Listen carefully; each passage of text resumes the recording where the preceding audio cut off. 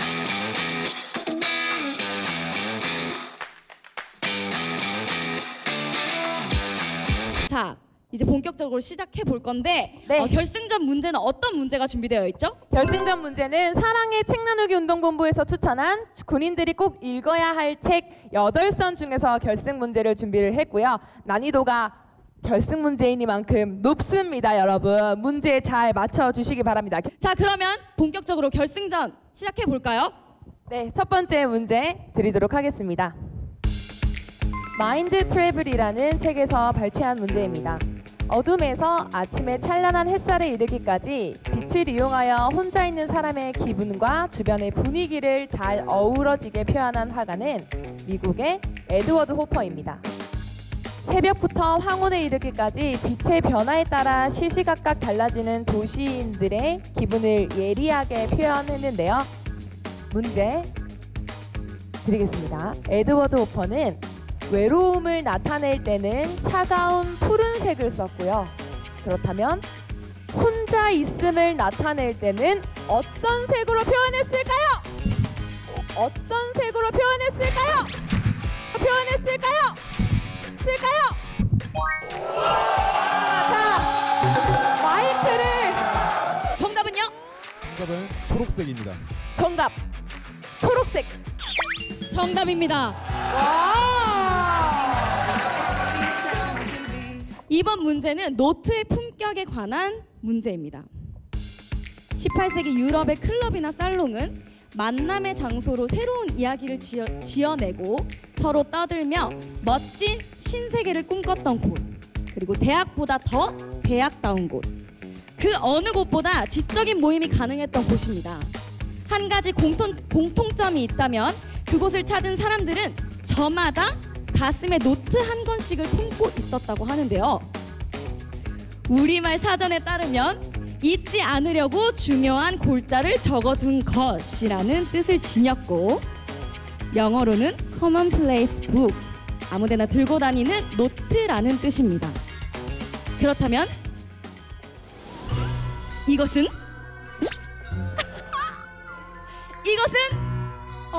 여러분 어 부정 출발 안 됩니다, 여러분. 자, 이것은 무엇일까요?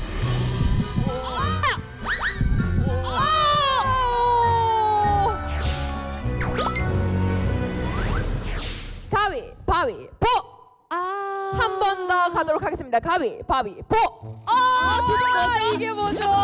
계속 똑같은 거 내십니다. 다시 가위바위보. 와! 자, 한 번 더. 가위바위보. 아, 네. 정답은 비망록입니다. 정답 비왕록. 정답은요? 정답입니다. 비왕록이었습니다. 오늘은 이만 좀 쉴게요 라는 책에 관련된 문제입니다. 헐리우드에서 피부색과 나이의 장벽 둘 모두를 뛰어넘어 대단한 존경을 받고 있는 배우 모건 프리먼이 한 말인데요. 좋은 사람과 이것을 구분하려면 그에게 착하고 상냥하게 대해주어라. 좋은 사람은 후일 너에게 대한 보답에 대해 고민해 볼 것이고 이것은 슬슬 가면을 벗을 준비를 할 것이다. 여기서 이것은 이것은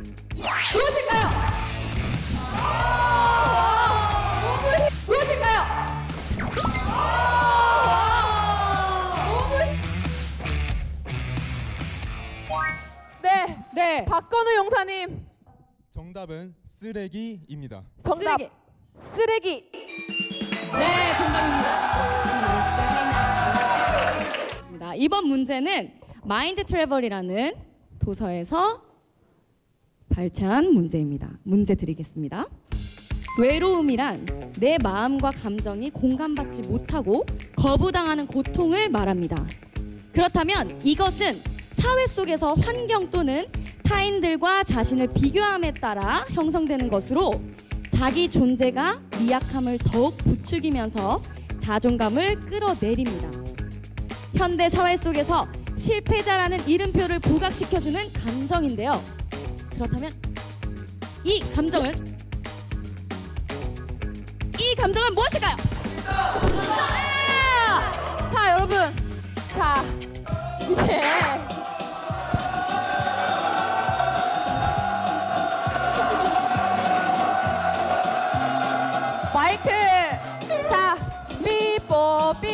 잠깐 수리해 들어가도록 하겠습니다 자 그래서 정답의 기회는 누가 가져가신 건가요? 아.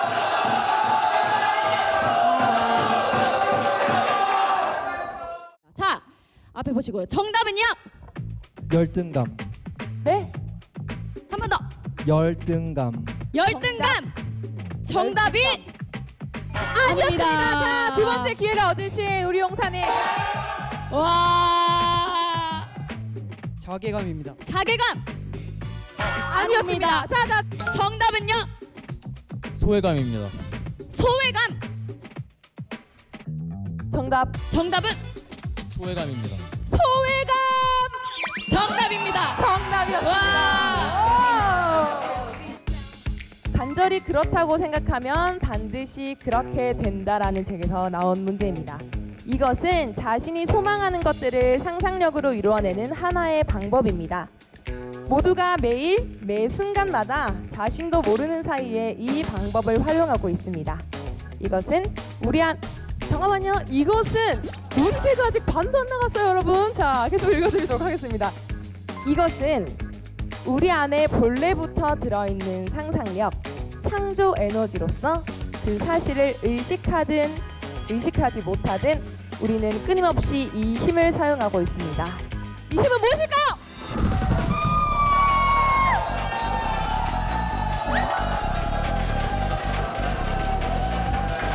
괜찮으십니까? 네, 여러분. 자, 뒤쪽으로 줄 서주시면 줄 서주시는 대로 정답의 기회 드리도록 하겠습니다. 네. 네. 정답은 앞쪽에 봐주시고요. 정답은요? 정답은 시각화입니다. 정답! 시각화 얘기하자마자 한 분이 자기 자리로 들어가고 계십니다. 정답은 시각화!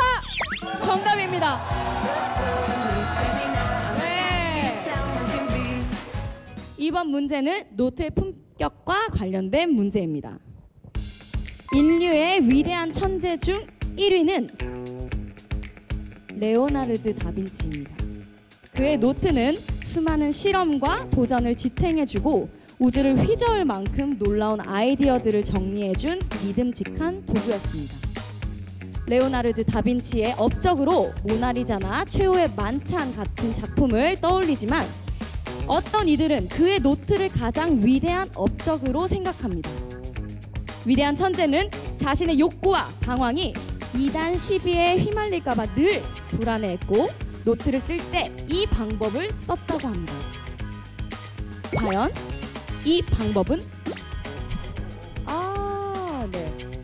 자, 이번에도 걱정이 많이 됩니다, 제가요. 네.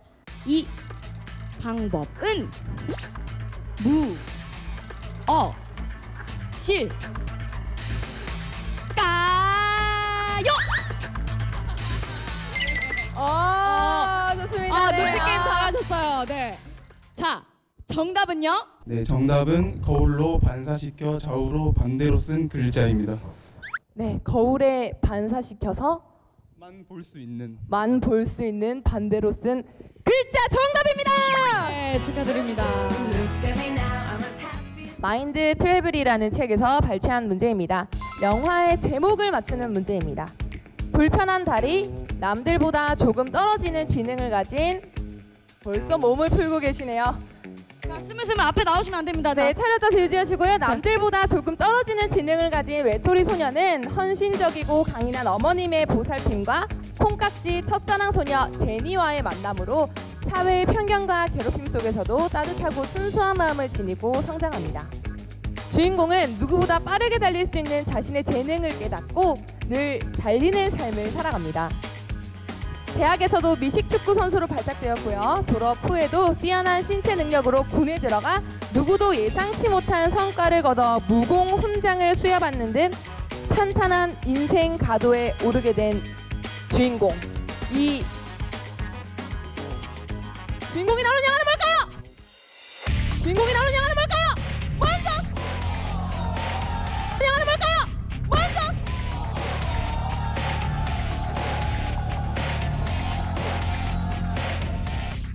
정답의 기회 얻으셨습니다. 정답은요? 제가 원하는이기 때문에 포레스트 검프입니다. 한 번 더, 더 유려한 발음을 해주시죠. 포레스트 검프. 포레스트 검 딩동입니다. 자, 지금 박건우 용사님과 최지원 용사님이 각 두 문제씩 맞추시면서 선두를 달리고 계시고요. 전명준 용사님, 이성후 용사님 한 문제씩 맞추셔서 2등으로 지금 달리고 계십니다.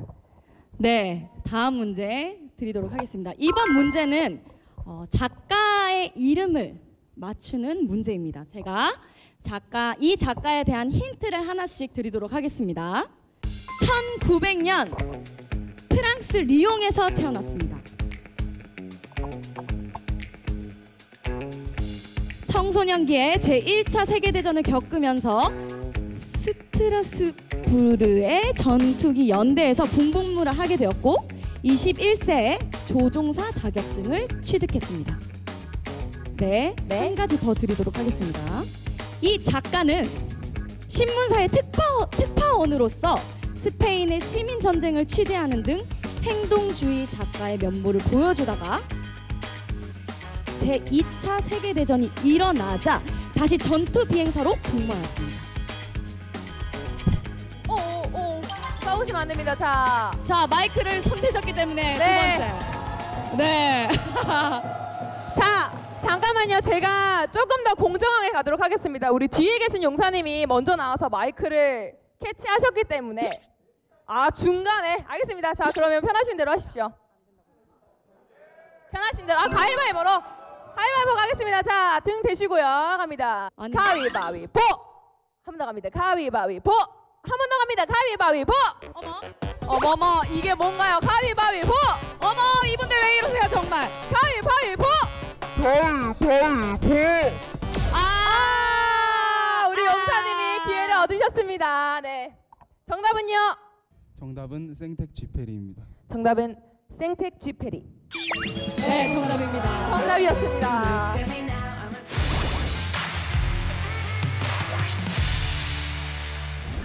이 기록은 무엇일까요? 아, 그거 그래요. 이것은 뭘까요? 했을까요? 가위바위보, 위보, 위보, 할까요?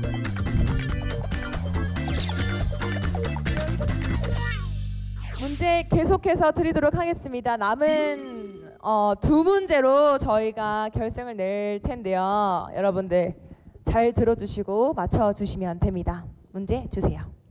한 동네에서 지낸 오랜 이웃 낸스 울러버가 이 책의 주인공인 화가의 삶을 최초로 기록한 책입니다. 선천적 장애로 작은 움직임도 버거운 듯한 작고 마른 몸, 붓을 잡기 어려울 것 같은 굽은 손가락으로 캔버스도 아닌 집안 곳곳 벽, 문, 창, 주전자, 그릇 등에 그리기 시작한 그림으로 훗날 이웃나라 미국 대통령까지 감탄시킨 캐나다 화가는 누구일까요?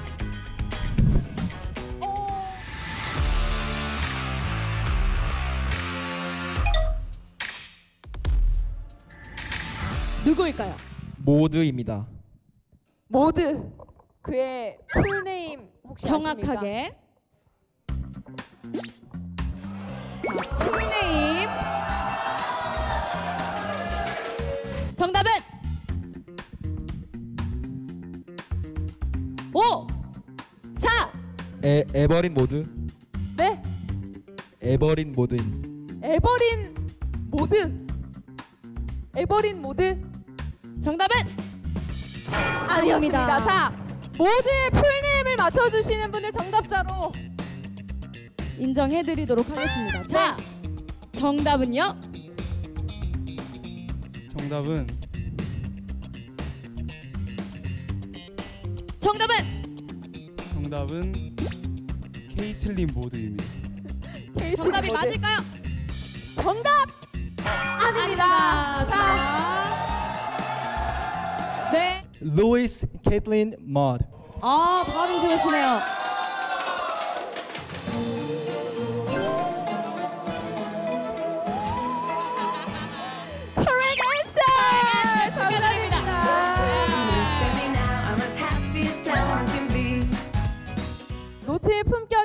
나온 문제입니다. 구도자들은 오랜 수행 끝에 호련히 깨달음을 얻게 되는데 이것을 돈오라고 합니다. 돈오는 자신의 한계를 일시에 뛰어넘는 탁월입니다. 그렇다면 구도자가 아닌 일반인이 자신의 한계를 뛰어넘는 경험, 기술, 무언가에 흠뻑 빠져 심취해 있는 무아지경의 상태를 상태를 무엇이라고 할까요?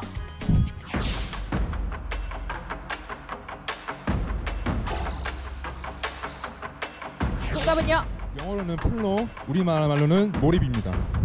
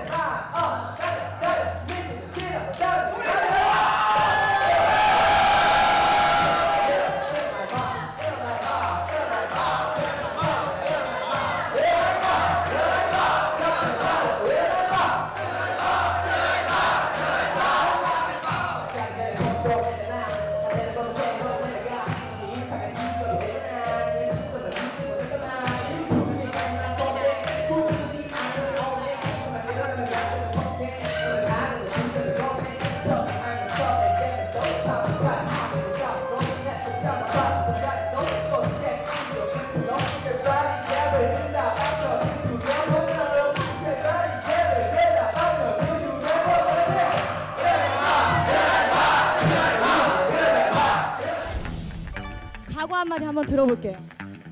어, 여태까지 운동한 게 보람되도록 이기겠습니다. 어디서 운동하셨습니까? 트레드런실에서 열심히 운동했습니다. 야, 네. 네, 우리 박고도 용사님도 소감 한번 들어봐야겠죠. 용사님 소감 한번. 지금 두 명이서 남은 상황에서는 좀 평화롭게 했으면 좋겠습니다. 어, 단 한 문제만 가지고 1등과 2등이 갈라질 텐데요. 이번에는 관등 성명을 먼저 해주시는 분께 기회를 드리도록 하겠습니다. 영화 오리엔탈 특급 살인 이 영화의 원작가이기도 한데요. 그리고 아무도 없었다라는 작품으로도 유명한 추리 소설 작가입니다. 추리 소설의 여왕이라는 별명을 가질 정도로 추리 소설은 물론이고 심리, 서스펜스로 수많은 걸작을 남겼는데요. 가장 유명한 단편집 중 하나인 쥐덫은 영국에서는 연극으로 60년 이상 상영되어 온 작품입니다. 이 추리 소설가는 누구일까요? 자, 마지막 문제. 네, 손. 드셨어요. 네, 마이크 드리겠습니다. 허밍웨이 허밍이 아니었습니다. 정답은 일곱 글자입니다. 땡땡땡 땡땡땡땡 자, 띄어쓰기 힌트까지 드렸고요. 땡땡땡 땡땡땡땡. 추리 소설의 여왕 영국에서 60년 이상 연극으로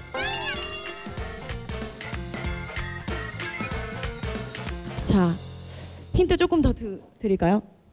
네.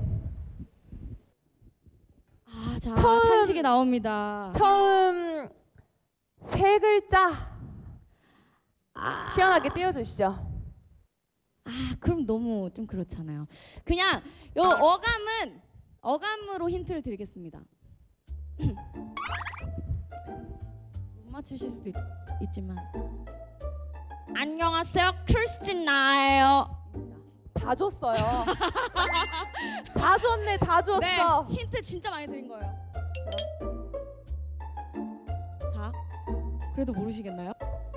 네. 두 분 다 일단 모르시는 것 같습니다. 네. 이번 문제 정답은 아가사 크리스티였습니다. 네, 아, 어 쉽지 않네요. 네, 쉽지 않아요. 자, 진짜 마지막 한 문제 한번 가볼까요? 감수성이 뛰어난 사람이 뛰어난 예술 작품 등을 보고 순간적으로 흥분 상태에 빠지거나 호흡 곤란, 현기증, 위경련, 전신 마비 등의 이상 증세를 보이는 경우를 땡땡땡 증후군이라고 합니다.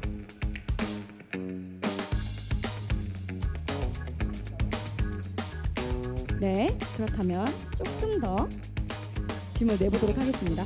적과 흑의 저자인 프랑스의 작가인데 이탈리아 피렌체의 스- 네, 박건우 용사님 손을 번쩍 드셨습니다. 정답은요? 스탱달입니다. 스탱달입니다. 정답은 스탱달. 정답입니다.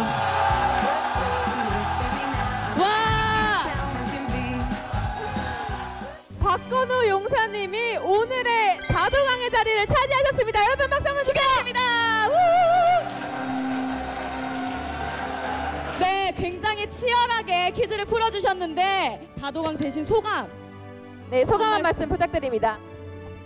어, 지금 몸이 지금 땀으로 긴장 때문에 땀으로 긴장 많이 하셨죠? 네, 옆에서 봤는데 엄청 많이 흘리시더라고요. 아, 그래도 좀 치열했지만 결과적으로 좋은 결과를 얻게 돼서 너무 좋습니다. 네, 아, 또 오늘 2등 하신 용사님. 아, 처음부터 두 분이서 티격태격 하셨잖아요. 네, 정답을 놓고 아, 아쉽게 2등을 하셨는데 어, 오늘 이렇게 퀴즈 풀면서 어떠셨나요?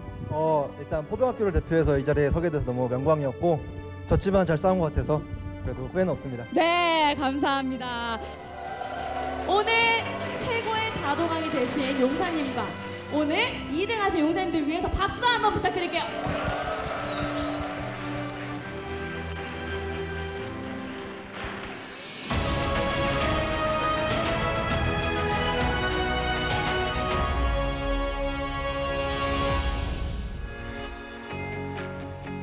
장자크 루소가 이런 말을 했습니다. 교육의 목적은 기계를 만드는 것이 아니라 인간을 만드는 것이다. 최정의 전문가가 되기 위해서 열심히 노력하고 계시는 우리 상무대 여러분들 모두 다 파이팅 하시기 바랍니다. 네, 오늘 이렇게 상무대 용사님들과 열심히 퀴즈도 풀어보고 많은 이야기를 나눠봤는데요. 어, 저희는 상무대 다도강을 찾았으니 또 다른 다도강을 찾으러 한번 가봐야 되겠죠? 마지막으로 여러분들 다 같이 군인들은 무슨 책 읽어 외치면서 마무리하도록 하겠습니다. 여러분 다 같이 군인들은 무슨 책